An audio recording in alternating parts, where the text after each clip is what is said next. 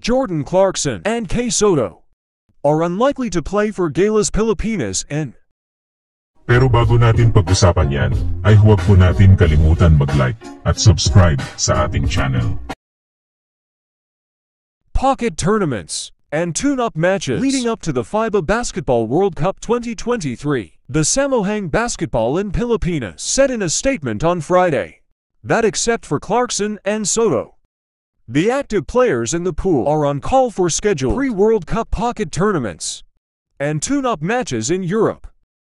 Kai Sotto played really well in minicamp, says Mavs owner Mark Cuban.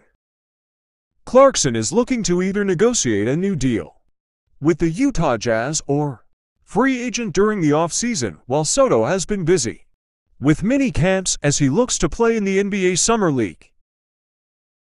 Both camp attended by Kai. They give good evaluation to Kai Sotto. Both organization who witnessed the hours-long sessions on Monday and Tuesday was similarly impressed. Malonzo Slam AGDU Kouame will banner Gilas in Europe pocket tournaments. Gilas debut game against Dominican Republic at Philippine. Arena in Bocaue Bulacan. Justin Brownlee will be available next week.